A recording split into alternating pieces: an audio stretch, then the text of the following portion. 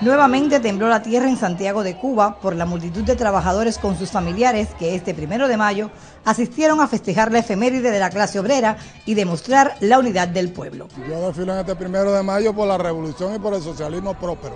A reafirmar los principios de la revolución porque hay que demostrar a la juventud y a toda la generación que viene que trabajar es un derecho y un deber de cada trabajador. Porque es un día especial para nuestro país, para el mundo entero. Porque no voy a desfilar, yo no soy una cubana guerrida, guerrillera, tengo que desfilar. Bueno, desfilé primeramente porque me siento identificada con este proceso me siento identificada con el sector que estoy defendiendo, que es salud pública y sobre todo la Facultad de Estomatología.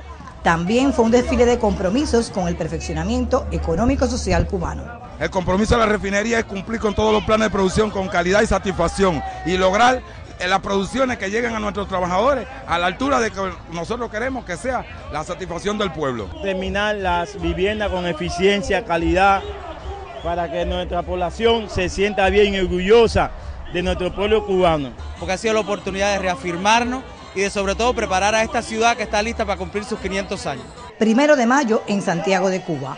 Colorido, alegría, entusiasmo y eterno compromiso con la patria y la revolución. Nailet Hernández Blanc, Sistema Informativo de la Televisión Cubana.